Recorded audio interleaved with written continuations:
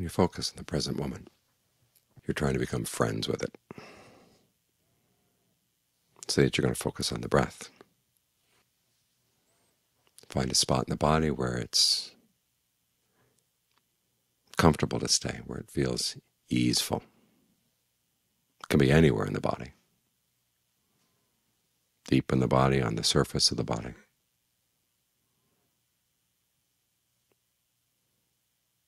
And allow yourself to settle in. But as you're settling in, remember you've got to make a friendship here, and that takes time, especially if you haven't been focusing much on the body or avoiding the body.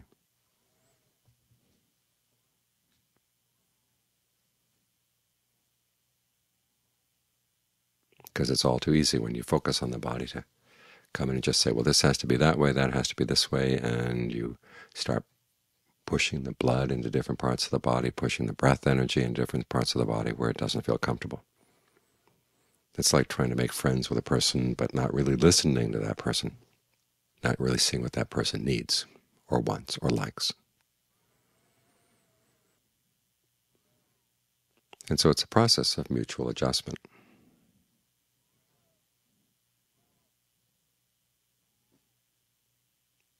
Find a way of staying focused where you're not putting too much pressure on things, but you're able to maintain the steadiness of your focus.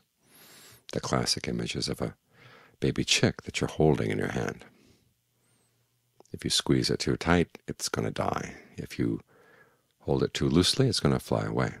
So you have to uh, find just the right amount of pressure to apply. And then notice how the breath responds. Notice how the mind responds. And as with any friendship, sometimes you ask straight questions, and other times you simply have to be observant over time. As the Buddha once said, you don't really know a person until you've been with that person for a long time. And even then you have to be observant. If you want to see that person's virtue, you have to live with a person for a long time and be observant. If you want to learn about a person's integrity, you have to have dealings with that person for a long time and to be observant. If you want to know about the person's stamina and wisdom, you have to see how they deal with deal with hardships. And you have to be observant. In other words, it takes time and you have to use your powers of observation. These are the two things you really have to apply as you're practicing. So you get a sense of what works, how you can bring the body and the mind together in a way where both are comfortable. The breath is often a good way to do this, but it's not for everybody.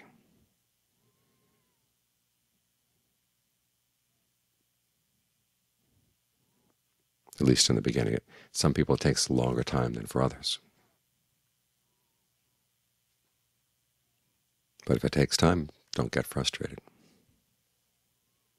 It's simply a matter of learning how to listen, learning how to observe, and using your ingenuity those two qualities, being observant and being ingenious, were the two qualities that Ajaan Fuang would stress more than anything else when he taught meditation. He'd say, try this. If that doesn't work, then try that. If exhausted all the teacher's ideas, well, try to think up some approaches of your own so you can feel at ease here in the present moment. Because if the mind doesn't feel at ease here, it's going to wander around all over the place. and never really finds any rest. You wander out in the world and all you see are the injustices of the world. And even when people try to be nice to one another, it's, it's built into the world that there's a lot of feeding going on. Emotional feeding, physical feeding. The simple fact that we're able to survive depends on our feeding. And somebody's going to get harmed one way or another. So if you look for a place out there for the mind to settle down and feel at ease, you're never going to find it. If you look inside, In the very beginning, you look at your mind, your mind is a mess. Try to focus on the breath. The breath and the body seems to be a mess. You don't know where to go. This is where I have to take it on the Buddha's word and the word of all the people who've practiced his teachings and gotten results, that okay, if you focus inside, eventually things will settle down.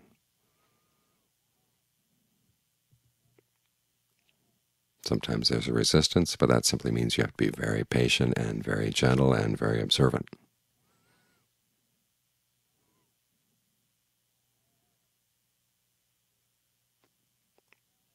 Because if you push yourself too hard, it's like pushing yourself on someone else. You want to be a friend, but they're not so sure yet. And the more you push, the more they step back. So you have to be more gentle, more indirect. With the idea in the back of your mind, eventually you will settle down here. It just simply may take time.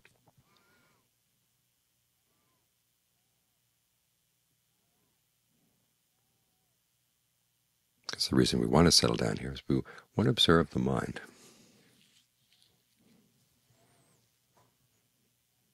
The Buddha said that before he got started on his practice, he looked at the world and he said it was like fish in a puddle that was drying up. The water is getting less and less and less, and the fish are struggling with one another to get that last little bit of water. Of course, all of them are going to die. You see, he looked at the world and just felt really dismayed. But then he turned around, he looked and saw, well, the real problem is here in the heart. The heart's always going out there looking for happiness, but no matter how much you gain out there, you're going to lose it. At one he said, even if it rained gold coins, we wouldn't have enough to satisfy our sensual desires. It's this arrow of craving in the heart. That's what's making us suffer. This is his real insight, no matter how bad things are outside. It is possible to develop skill inside so you don't have to suffer from those things. And if you're not making yourself suffer, you're placing less of a burden on others as well. So whatever amount of time it takes to get the mind to settle down, is time well spent.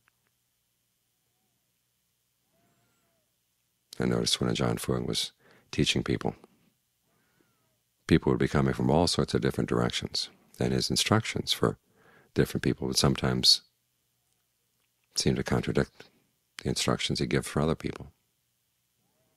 It's as if someone was off to the west, and he said, we have to go east, east, east to get to the point where you want to settle down. So other people were off to the east. Well, they had to go west. And some people would go straight to the right point. Other people would take a, a while to circle around. But finally they would get to a point where they could settle down. The mind would be really still. In fact, it would be so still, both the mind and the body would be so still that even the breath itself would stop. And once people had gotten to that point in their meditation, everything would seem balanced. The mind was balanced here in the present moment. The body seemed balanced. And from that point, everybody's practice seemed to follow the same steps. But leading up to it, some people would have really strange experiences in their body, really strange visions, positive, negative. The sense of the body would get distorted. remember one time sitting with a group and at the end of the session, this one woman said, she felt like she was sitting there with a body but no head. And well, for that hour I'd been sitting with a sense that all I had was a head and no body. I told her we should get together.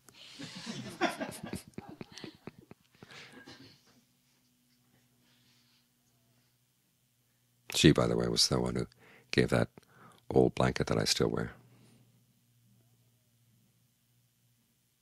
And sometimes you feel like your body's filling the whole room. Sometimes it feels really small. Sometimes it seems to be nothing but pain. Other times it seems to disappear. You can do all kinds of things.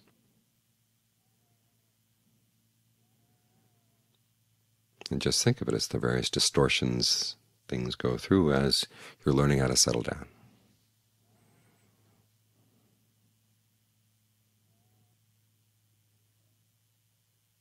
and to emphasize that point of balance. Is when people would get to the point where the breath was still, and Ajaan Fuang would have them focus on the sense of warmth in the body, the fire property.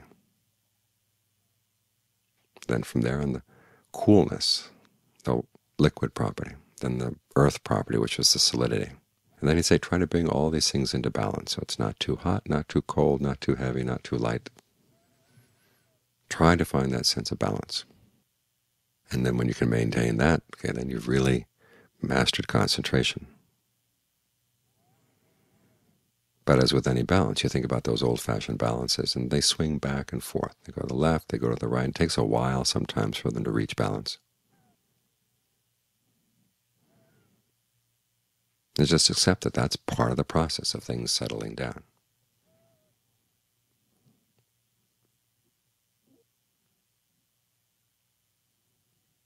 And learn how to be patient with it. Because we are developing a sense of home. In Pali, this is called Vihara Dhamma, the place where the mind can stay, feels at home, feels at ease. To compare it with a friendship, it's a friendship where finally both people are happy together, and the friendship feels easy.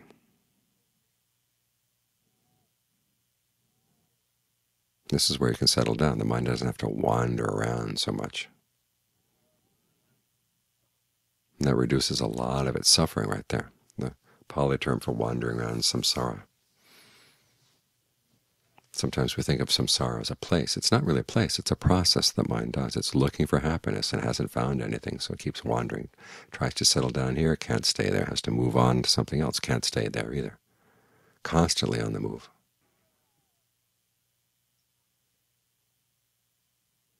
As we're meditating, we're trying to find a home, a place where it can settle down at least long enough so it can look into itself to see, well, what is this arrow of craving? What is this arrow of clinging? What is the ignorance that keeps us suffering? This is basically the good news of the Buddha's teachings, which is that the suffering comes from within, which means that we can cure it. If suffering were totally caused by outside circumstances, we'd be victims, but nothing we can do about it. But because the primary causes are inside, once you get the mind to settle down here in the present moment, then you can look inside and figure things out. In what way are your intentions unskillful? In what way is the way you look at things unskillful? How can you change those? so that you're not constantly primed to suffer all the time.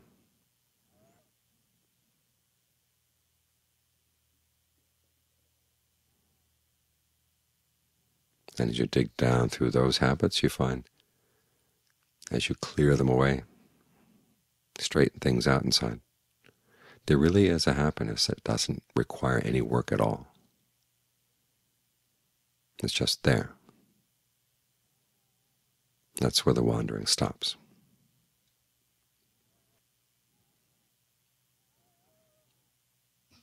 So as we're practicing, accept the fact that there will be some swings in the balance.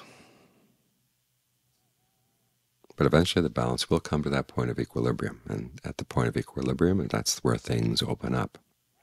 You actually go beyond the equilibrium. But this is the first step in the the direction for happiness that really is satisfying, that really doesn't require any more work, any more wandering around at all.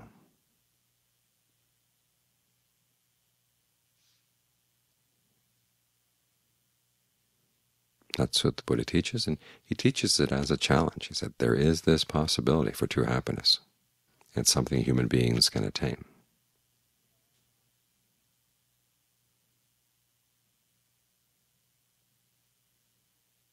And so up to, it's up to us to decide whether we're, we're ready for that challenge, whether we're interested in the possibility of a happiness that's totally true, totally free.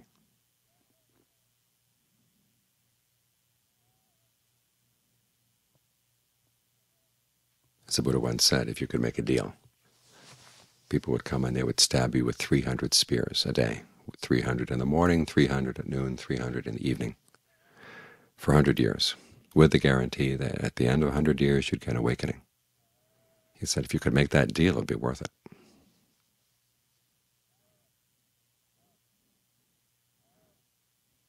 And when you attained awakening, you wouldn't think that you had attained it with suffering. You would, the awakening would be accompanied by joy.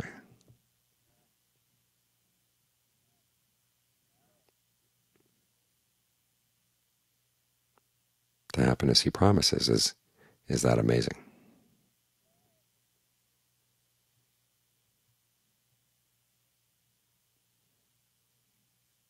So keep that in mind as you face difficulties in the practice that sitting through the difficulties is it's not 300 spears.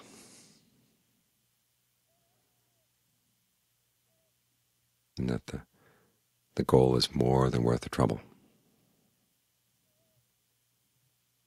of trying to develop the sense of balance, of friendship, home inside.